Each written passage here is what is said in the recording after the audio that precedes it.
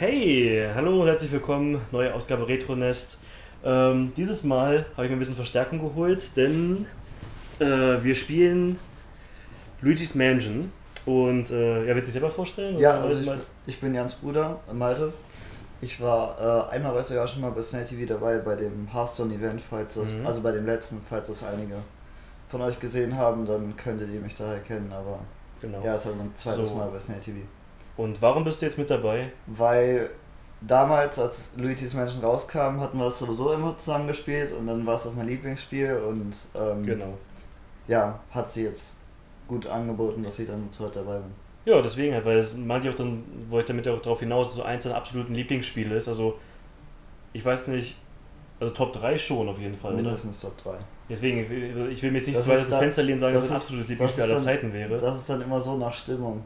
Also, Ja, okay. also nachdem ich zum Beispiel Persona durchgespielt hatte, hatte ich gesagt, Persona ist mein Lieblingsspiel. Aber Also das, fünfte Teil meinst du, Persona 5? Ja, Persona ja, 5. genau. Aber das, das ist immer je nachdem, wie gerade die Stimmung. Aber Mhm. auf jeden Fall gibt, ist Luigi's Mansion immer, Ganz oben mit dabei. immer mit oben dabei. Deswegen. Ja, dann ähm, würde ich sagen, steigen wir mal direkt ein. Du wolltest jetzt nochmal resetten, dass wir auch das Intro mit drin haben? Okay. So.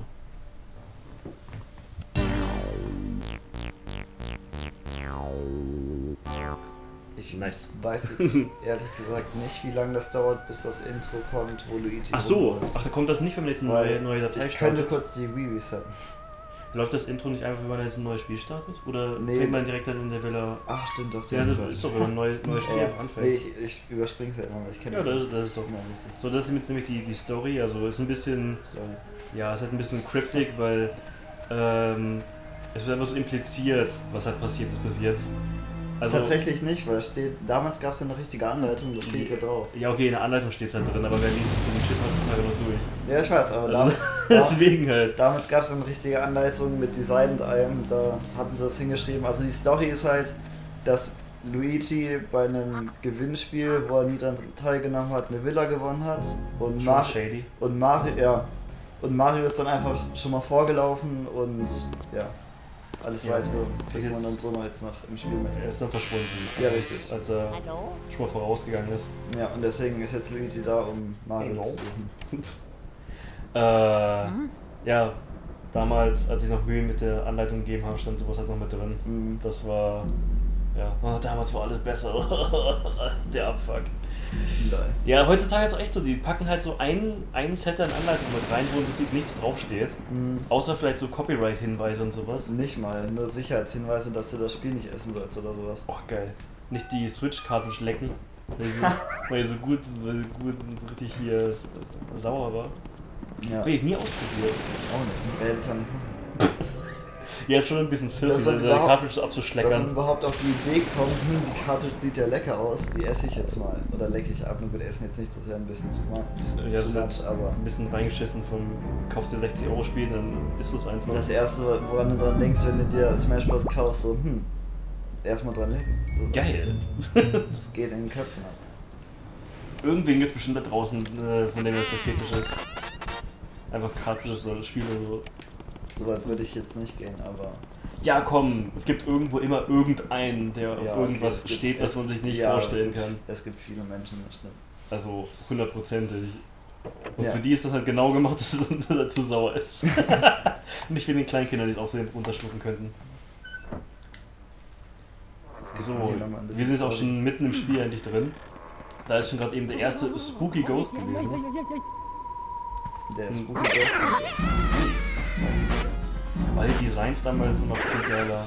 Als Meinst die, von zweiten Teil auf dem 3DS? ja, Ja, die sind. Also die, also die sind halt voll, die sind halt richtig geil. Die haben auf dem 3DS Luigi's Mansion 2, die fand ich halt ein bisschen zu harmlos. Ja. ich weiß nicht, wie es anders beschreiben soll. Ich fand die halt einfach so Cartoon harmlos. Die sehen doch ein bisschen, ein bisschen unheimlich wenigstens aus. Ja, ich weiß, was du meinst. Die sind einfach zu, ja.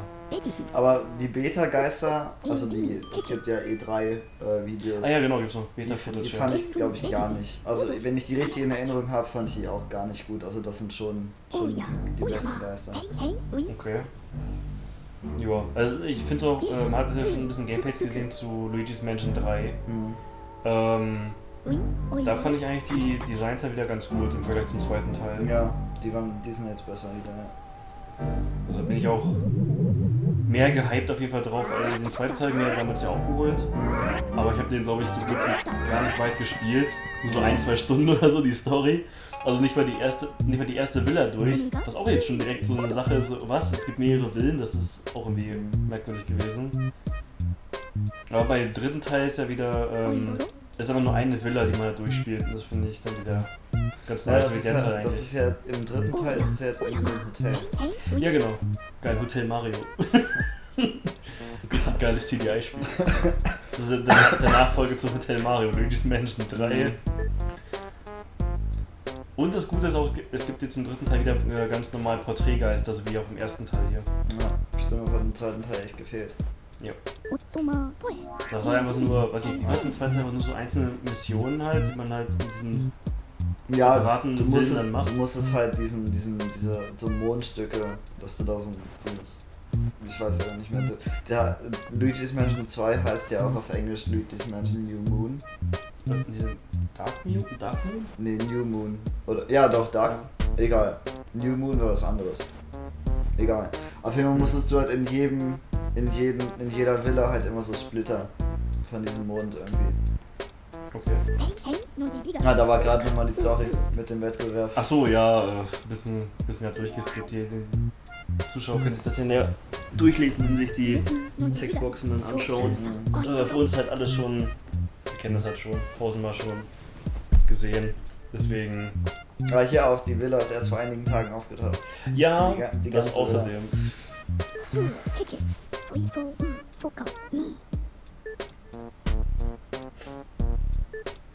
eigentlich, Begeistert. uh, geil, richtig Die stankigen Puns hier, Alter, von den 2000ern. Danke, Nintendo. Na, wann kam das Spiel mal raus? 2002, Eins. 2003? War das nicht eins? Ich glaube 2003. Wir können direkt auf die, auf die Box gucken, warte. Box auch. 2001, 2002. Ja. Also wahrscheinlich in Japan 2001 und dann außerhalb, also Europa, Amerika 2002. Mhm. Kann ich mir jetzt vorstellen. Ja, auf der Rückseite wird man schon gespoilert, was da also für Gegner sind. Sind wir hier da und da. Geil, machen wir jetzt mal nicht. So. Geil, Mario retten. Oh, brauchst du die Steuerung oder weißt du, wie das geht? Hm, gucke ich mir eigentlich lieber nochmal an. Geil. Was ist nochmal, wenn man jetzt nicht Standard macht? Was glaubst du noch? Äh, dann bewegst du dich Tanksteuerung. I. Ja. Das ist halt normal und das ist Warum Tanksteuerung. sollte man Tanksteuerung bevorzugen? Weiß nicht, wenn man, Re äh, wenn man Resident Evil macht. Ja, okay, wenn es Resident Evil 1 und 2 Crack ist, dann Ja. schon. Aber. Ah, Oh! Ja, okay, mit der gleich gleich. weiter, aber das muss der- Ja, nur werden, Subscriber. Leute. Christ is watching you. Ehrenmänner. Danke für den Sub. Freuen wir uns drüber. Ja, äh. Ah, genau, jetzt mal erstmal ein Tutorial, wie man jetzt äh, so ein, die einfachen Geister erstmal aufsaugt. Also, ich denke mal, man kann nicht abstreiten, dass das Spiel auf jeden Fall Ghostbusters inspiriert ist. In irgendeiner Hinsicht, oder? Es ist zwar ein Staubsauger, das andere waren ja so, ähm, weiß nicht, wie haben sie die genannt bei Ghostbusters? So Protonenwerfer-Dingens. Aber trotzdem, du schießt halt mit etwas auf Geister. Ja, so bei, im bei. Ghostbusters war das halt nur um die. Das war wie eine Angel eigentlich nur, das ist ja richtig aussaugt. Ja, schon. Aber du bist halt ein Typ, der irgendwas auf dem Rücken trägt und damit Geister besiegt. Also, Ja. also ein bisschen schon. ja, gut, das stimmt. Ein bisschen schon. Aber ist ja auch nicht, ist ja auch nicht schlimm. Ist ja, viele Sachen lassen ja von anderen äh, vorangegangenen Sachen inspirieren. Oh, daneben. Ah, genau, man muss halt die äh, Geister mit der Taschenlampe anleuchten. Dann wird äh, genau ihr Herz dann angezeigt und dann kann man sie aufsuchen. Dann sind sie verwundbar, wenn Ja. man das sehen kann. Und da hat man auch unter dem Herz so eine Zahl stehen. Das ist im Prinzip das, das, das Leben von denen. Ähm, so dass, ja, jeder mit der Zeit runter, je länger man sie halt einsaugt. Und wenn es halt null erreicht hat, dann hat man sie halt gefangen. Und ähm, ja, da gibt es halt verschiedene. Also 10 ist glaube ich die kleinste Zahl, die es überhaupt gibt im Spiel, oder? Obwohl es gibt auch Geister, die gibt- 0 es haben. gibt auch null. Also wenn die 0 haben, die direkt eingesaugt werden, sind so ähm, Also kleine Geistermäuse, die jetzt rumlaufen, die halt gar nichts machen. Ja, die haben zum Beispiel Äh. gar kein Leben, die Mäuse. Ja, die einfach, die haben null, den saugt man direkt auf. Dann, weiß nicht, das höchste ist so wie. Ich glaube, es ist ein Radius von, von also 10 bis, 10 glaub, bis da- 500 so das höchste oder so. Ich glaube 300 sind 300. Ja, so in dem Bereich bewegt sich das halt. Hi. Und man kann natürlich auch, wenn du es jetzt hinkriegen würdest, auch mehrere Geister auf einmal aufsaugen. Jetzt. Ah ja, alle auf einmal. Genau, dann machst du einmal genau, einmal den Kreis laufen, weil dass alle auf dem Haufen sind. Wenn jetzt nicht alle erwischt, dann bin ich richtig sad. Nice. Nein! Oh, einer ist weg! Boah, du Dude. 4 von 5 auf einmal. Ja, aber da kommt man halt sehen, man kann auch mehrere Gas auf einmal aufsaugen. Das ist halt so ein schon ziemlich satisfying, wie man das hinkriegt. Ah genau, das ist ja auch hier der, das, der Staubsauger weg. ist der Schreck weg. 0816. Ja, weil der Joke ist, es gibt in Super Mario Sunshine dann auch den, den Dreck weg. Äh, ich glaube, es war 0817 oder so. Mhm. Das Sunshine ist 0917. Nee, es war sie auch einfach- 08, das wird aber hochgezogen von 0815 bis ist Ja, der Joke. ja. Hat 0816, dann. Ähm, ich, weil ich glaube, Sunshine kam ja ein bisschen später raus als Luigi's Ja, das Mansion. とは Dann müsste nämlich der Dreck weg 0817 gewesen sein, weil sie dann so hochgezählt haben von der Nummer her. Ähm, ja, in der Hinsicht war eigentlich Luigi's Mansion mehr Launch-Titel für den Gamecube als Mario Sunshine. War es ja auch. Sunshine Weil- war ja gar kein Launch-Titel. Ja. Es hat nur, Mansion. glaube ich, sonst nicht so oft passiert bei Nintendo-Konsolen, dass nicht, also jetzt ein direktes Mario-Spiel der Launch-Titel ist. Obwohl bei der Wii, warte mal. Bei der Wii. Bei Wii war es Twilight Ich Princess wollte und jetzt sagen, da war es Wii Sports und sowas. Stimmt, das ist auch ein Mario-Spiel. Bei Mario Galaxy kam erst, ich glaube, ein Jahr später erst. Ja, es kam, ja, 2007 glaube ich raus, die Wii 2006. Haben ein paar andere Mario-Charaktere und Toad einfach random hier in der Villa rumlaufen. Mm, Ja, bei, bei Toad kann man immer speichern. Genau, das ist der Speicherpunkt. Achso, noch die Erklärung, warum Toad hier auf einmal ist. Ja. Also ich frage, was soll er jetzt ausrichten im Vergleich? Guck mal, Toad geht rein in die Villa und sitzt direkt in die Ecke und heult erstmal, weil es Mhm. dunkel ist. Also ehrlich mal, was, was soll er denn jetzt bringen, um Mario zu retten? Aber das impliziert ja auch außerdem, dass Peach Luigi nicht vertraut, dass es alleine hinbekommen würde und sie schickt immer ein paar fucking Toads Ja. hinterher. Ja. Oh, Es gibt ja, ich glaube, drei oder vier Toads gibt es da in der Villa. Nur so wenig? Ich glaube ja. Es gibt nicht so viele. Pro, äh, es steht ja Bereich 1, also pro Bereich dann ein Tod, oder? Äh, nee, im Bereich 1 gibt es tatsächlich sogar Zwei. Zwei. Zwei, ja. Stimmt. Ja. Man ja schon mal die Münzen. Ja, die Münzen sind eigentlich ähm, gameplaymäßig nicht wirklich wichtig, nur halt, die sind für den Highscore am Ende des Spiels. Also je mehr Geld und äh, anderes Wertvolles halt einsammelt, desto besser ist dann die Bewertung am Ende des Spiels. Was wir dann auch auf jeden Fall heute noch sehen werden, denn wir haben vor, das Spiel jetzt am Stück durchzuspielen komplett. Weil, wenn man es halt gut hinkriegt, man das so in drei, vier Stunden halt schon schaffen kann, locker, würde ich mal behaupten. Ja. Ist auf jeden Fall machbar. Ja. Oh, spooky Gemälde. Ja, den habe ich immer gehasst, Alter, in seinem scheiß Clubschau. Der war immer, war allen immer am spookigsten, Ich habe hab immer die, die ganze Szene gehasst, wenn man das hier skippen kann. Vibriert eigentlich, vibriert eigentlich auch der Controller dabei? Oder ist nur die. Äh, nee. Na schade, wäre lustig gewesen, wenn der Controller vibriert, während die Bilder vibrieren. Ich Das hatte, es, also extra ich hatte es spooky. eigentlich auch im Kopf, aber Ja, deswegen habe ich auch gerade kurz überlegt, warum ja. wir das nicht so gemacht haben. Ich hab das einmal an. Ich hab ein paar Münzen verloren. ja, ich Okay. bin da nicht so im Game drin. Ach so.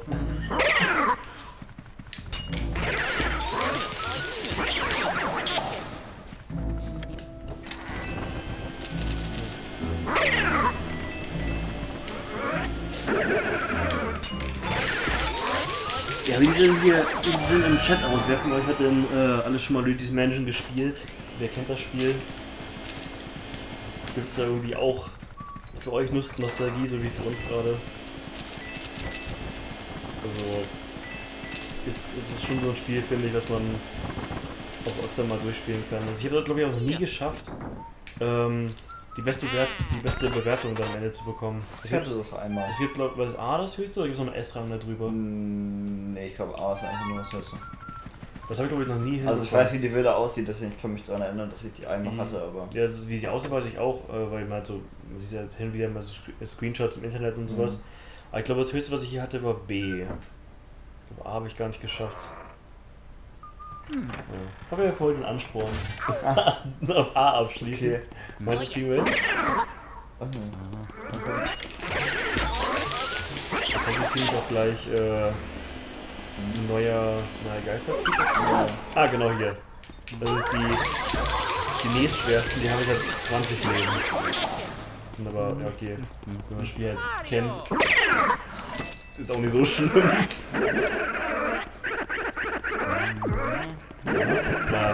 Halt bei der. Gibt es nicht auch, ähm, wenn Nebengeist auf einmal aufsaugt, äh, auch manchmal so Bonussachen wie Herzen oder sowas, die du da drin droppen? Also, dass man sein eigenes Leben da auffrischen kann damit? Hm, Das kann sein, ja. Ich glaube, ab, ab drei Geister oder mehr oder so, dann droppen sie aber. Oh, Gold irgendwas. Aber die im einen bevor verschwindet. Oh Gott. Das dauert ein bisschen. Meinst du? Okay, gut. Dann wird nicht so immer so lange Geld in solchen Sachen liegen bleiben. Ah, der hat ein Herz. Okay. Ja, und wie die äh, Steuerung auch jetzt funktioniert, also man kann halt, ähm, so mit den, mit den Schultertasten bedient man halt den Staubsauger, dass man halt mit R, äh, mit der rechten Schul Schultertaste halt einsaugt. Und dann muss man den Control-Stick halt in die entgegengesetzte Richtung drücken, von dem, wo jetzt der Geist gerade befindet, halt auch immer wieder diese Angel halt hochziehen. Und ab. Ja, kriegst du. Ja. Nice. Das war jetzt nämlich so ein, äh, ein seltener Geldgeist. Der taucht dann äh, an jedem Ort nur einmal auf. Oh Gott, jetzt kommt die auch noch dazu. Ähm, und wenn man die, diese blauen Geldgeister nicht schnell bekommt, dann verschwinden aber sie dann für immer weg. Und dann hat man nur eine Chance, die einfach bekommt. Und die sind jetzt, ja, Bananen, die Bananengeister, die haben jetzt 40 Leben und die droppen auch noch Bananenscheiße, auf die man ausnutzen kann und Schaden bekommt. Ja, dann immer so ein bisschen. Weiß nicht, ein bisschen Donkey Kong ist ja immer. Also so wegen Bananen. Ja. So, so, so, so wie Chunky oder Kiddy Kong so ein bisschen, weil das so, so ein großer Goofy Dude so halt ist. Ja. Ja, da muss ja auch irgendwie immer an Donkey denken. Oder so, so Assoziationen damit. Ist ja auch naheliegend. Donkey Kong und Bananen. Ja, gerade Nintendo, Donkey Kong, Bananen, das ist ja alles. Ja, und man kann halt ähm, die Taschenlampe bedienen mit der B-Taste, kann man damit, also normal ist ja die Taschenlampe an und wenn man die B-Taste drückt, dann kann man die Taschenlampe dann ausmachen. Und äh, damit kann man es dann halt timen, dass man die Geister richtig halt anleuchtet und die dann halt, um sie verwundbar zu machen. Solche Mechanik sind auch richtig nice, das ist so, so im Prinzip so eine Art von so äh, Schwerkraft auch mit drin, dass man solche Objekte auch bewegen kann, mit Ansaugen und Wegsaugen und sowas. Schon richtig nice. Hier draußen ist jetzt der andere Tod. Genau. Genau, der zweite Tod im ersten Bereich.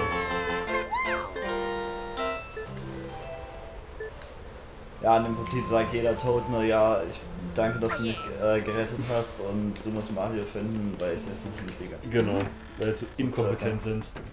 Und noch mehr Angst haben als Luigi schon selber. Aber deswegen, gerade wegen solchen Sachen finde ich eigentlich auch den Luigi den viel interessanteren Charakter als Mario. Da sind halt beide ziemlich flache Charaktere so allgemein, im, jetzt im gesamten Verhältnis von Videospielcharakteren. Aber Luigi hat noch so ein bisschen tief noch mit drin, finde ich, dass er einfach mehr Charakter noch hat als Mario. Mario ist einfach so der, weiß nicht, ähm, Cardboard Cutout Action Held einfach so, der nicht viel Persönlichkeit hat. Aber Luigi ist halt so, der hat noch diesen Aspekt mit drin, dass er halt so in solchen Situationen halt Angst hat, aber trotzdem auch den Mut dann irgendwie hat, das trotzdem durchzuziehen. Mhm. Jetzt natürlich auch hier mit dem, mit dem Kontext, dass er halt seinen Bruder retten will, obwohl er halt sau, sau Angst hat, aber er trotzdem sich in der eigenen Angst überwindet. Also, und auch so in anderen Spielen, so weiß ich, es gibt ja auch hier die Mario Luigi-Reihe. Ähm, da hast du auch eins gespielt, oder? Abenteuer Bowser, hast du das Bowser's gespielt? Inside Story hatte ich ja, wo Ja, genau. man, da, da wechselt man irgendwie die ganze Zeit hin und her. Ja, genau, das, das, die, diese Spiele haben auch den beiden immer viel mehr Charakter gegeben, vor allem Luigi. Und äh, ja, ist schon von den beiden, von Mario Luigi der interessantere Charakter, würde ich sagen. Also wir sind auch schon beim ersten Boss. Das ist der erste Porträtgeist. Hier insbesondere, ähm, da muss man spezielle ähm, Niemals! Hat mich das Buch gerade getroffen. Ich hatte echt gerade Angst, dass es passiert. Niemals. Scheiße. Ähm, ja, okay, ich erkläre gleich mal den Kontext, warum das jetzt gerade doof ist. also, Porträtgeister funktionieren so, sie haben halt. Du kannst, du kannst das ja auch nicht lenken. Ja, klar. Ähm, also, das ist der erste Porträtgeist, der ist halt relativ einfach, äh, sein Herz zu aktivieren. Ähm, muss einfach nur warten, bis er halt geht und dann, dann kann man ihn halt anleuchten, um das Herz äh, sichtbar zu machen. Ähm, bei anderen ist manchmal ein bisschen komplizierter, ein bisschen, äh, muss man irgendwelche anderen Sachen machen, damit man die verwundbar machen kann. Am Anfang geht sie erstmal. Das Dumme ist jetzt gerade, also die haben, halt, die haben halt 100 Leben und das Dumme ist jetzt, wenn man, ähm, man wird am Ende des, des Bereiches, also des Kapitels, wenn man die abgeschlossen hat, alle Porträtgeister werden halt äh, gezeigt nochmal, dann wird halt bewertet, wie gut man sie gefangen hat. Es gibt halt Bronze, Silber und Gold. Und ähm, man bekommt halt nur Gold, wenn man sie am Stück äh, komplett von 100 auf 0 in einem aufgesaugt hat. und dann bekommt man auch eine große Perle. Und dann bekommt man auch noch eine große Perle, die noch mehr Geld wert ist. Und äh, deswegen ist es gerade ein bisschen schade, dass die Bücher äh, da dich getroffen haben und äh, ja, wir dadurch ähm, leider nicht das erste Gold haben. Aber vielleicht wird es ja hier jetzt besser. Wir sind ja hier der zweite Porträtgeist, also im ersten Bereich sind wir gerade ziemlich schnell durch. Hier nicht die Besonderheit, äh, bei anderen einfach warten, bis er geht, da kann man ihn halt äh, aufsaugen. Bei ihr ist es so, man muss halt das Fenster. Oh. Man muss halt das Fenster. Äh, nein. muss er das, Fenster aufmachen, damit der Wind zukommt und äh, dann kann man sie halt anleuchten. Und der Pilz, der eben gerade da rumgesprungen ist, ähm, wenn man den berührt, das ist halt ein Giftpilz, der macht einen klein und da kann man eine Zeit lang seine Stoffe benutzen und man verliert halt Münzen und Leben. Ja. Denen am besten ausweichen. Das macht es auch dann so schwierig, Gold zu bekommen, weil man gleichzeitig solchen Objekten wie den Büchern eben gerade ausweichen muss und dem Giftpilz auch, die sie immer, jeder Bossgeist droppt den halt einmal während des gesamten Aussaugenvorgangs. Ähm, und dem muss man auch dann versuchen, mal ein bisschen auszuweichen. Man kann natürlich nicht viel gegensteuern, man muss sich so ein bisschen von den Geistern halt leiten lassen, wie sie sich halt bewegen. Aber man kann so ein bisschen versuchen, so trotzdem wieder schwer da Ich habe halt eigene auch. Kontrolle mit einzubauen. Ich habe teilweise noch einfach aufgehört, die Geister einzusorgen. Weil du dann, wenn du aufhörst, hast halt. Ist halt besser, als wenn du halt klein wirst.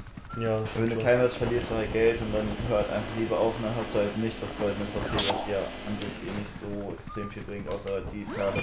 Mhm. Das ist auch nice, wenn man solche Decken und sowas auch einzogen kann, voll immer lustig. Mhm. Ähm, ja, Erster Endboss. und da sind wir schon beim, beim Endboss des ersten Bereiches.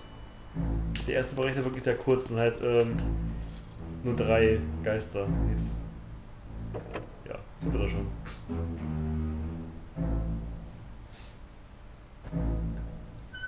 Ja, und hier ist auch, ähm, also die, die Charaktere machen alle auch so, so, ein, so ein Theming irgendwie mit drin.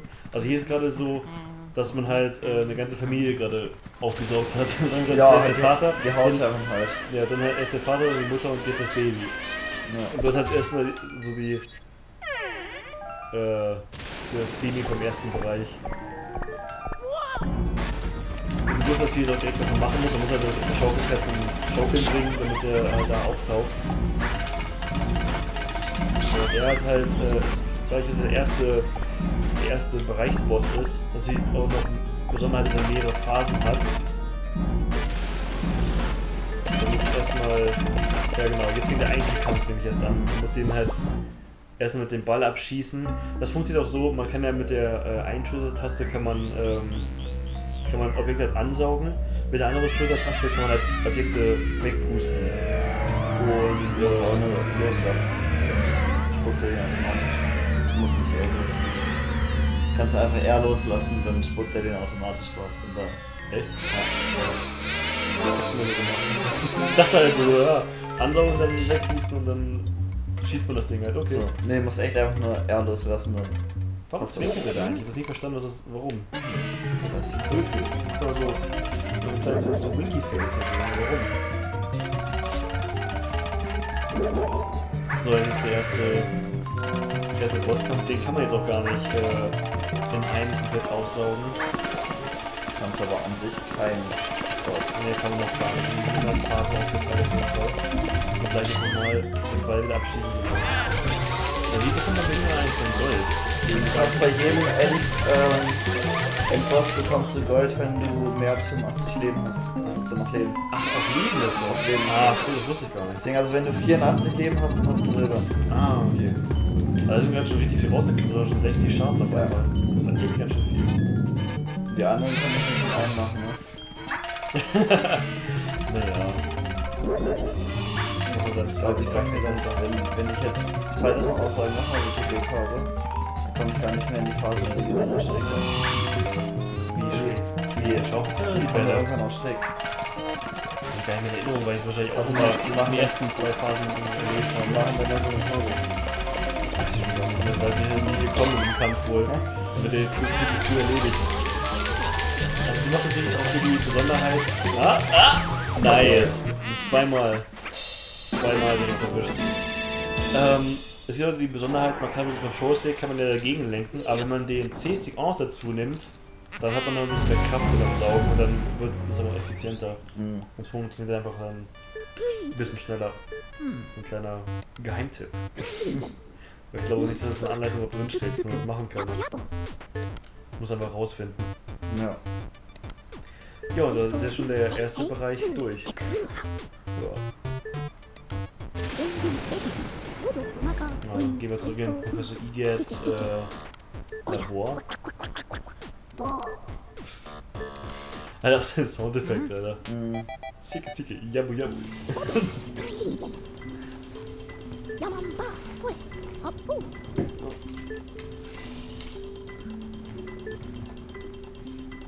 Genau, ja. Genau, jetzt kommt das nämlich. Ja. Jetzt, ähm, die heißen auch halt die Porträtgeister, weil sie eigentlich, weil waren sie eigentlich Gemälde vorher? Die waren Gemälde, Ja, ja. sie waren Gemälde, aber wurden dann jetzt halt in, ihre- in ihre Geisterform halt verwandelt. Und jetzt, äh, da wir sie gefangen haben, können wir sie halt zurück in Gemälde verwandeln, wie sie eigentlich sein sollten. Und äh, da kann man zunächst auch gleich sehen, was es dann mit der Bronze-Silber-Gold-Bewertung auf sich hat. Also an sich müsste ich jetzt ein Gold und zwei Silber haben. Eigentlich. Der Vater müsste dreimal machen. Ich weiß nicht, ob es immer noch Silber ist. Bin mir jetzt auch nicht sicher. Meine Mutter ist auf jeden Fall Silber geworden, halt zweimal. Das ist der Vorgang, Alter. Das Pressen oder die Schock rein. Aber richtig schön gebacken. Nice. So, das Baby hat Gold. Gold goldenen Rahmen, ja, aber wegen dem Leben meintest du? Silber. Der Vater, Vater ist auch Silber. Silber ge geworden. Ist die Mutter auch Silber. Auch Silber, ja. Das ist an, also man hat halt dann verschiedene Rahmen oder auch ein anderes Bild, glaube ich, dann komplett. Ähm, ja, je besser man sie halt empfängt. Wir werden es nochmal gezeigt. Genau, Silberrahmen, die auch und Goldrahmen. Summarum drei Geister. Ganz, ja. Jetzt sieht man auch hier alle Sachen, die da Punkte sind, sind noch verschiedene Sachen an wertvollen Items, die man ein, äh, einsammeln kann im Spiel. Also da gibt es noch einiges an äh, verschiedenen Sachen, aber es kommt ja alles dann noch. Kommt alles noch. Da sind wir schon im Bereich 2 mit dreieinhalb Millionen Gold.